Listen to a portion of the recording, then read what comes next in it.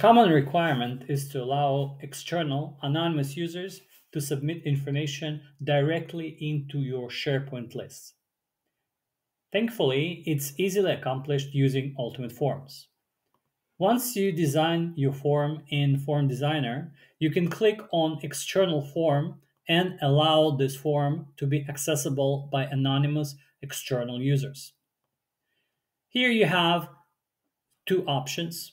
You can either host it on our website, which is the easiest and most convenient option, and the form will be accessible under this URL already with CAPTCHA controls to prevent any uh, bots to fill, uh, from filling out the information.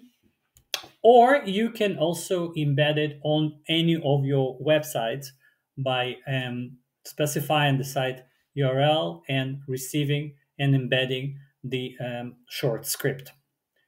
Here you can also control what types of forms the users will have access to.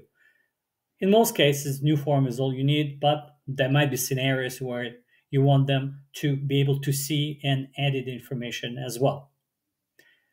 Note that this is not providing them with direct access to your SharePoint. They will be accessing it through a proxy that will make sure that they only get specific access to the specific form. Once you've done that, you can now go to the URL we provided and you will see the form there and your users will be able to submit it just as any SharePoint form.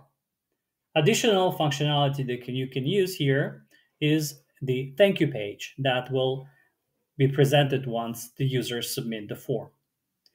See our description section below for more information and link to where you can try out this um, solution, both in your own tenant or in our um, online trial, which requires no uh, specific permissions to, to start. And also subscribe to our channel.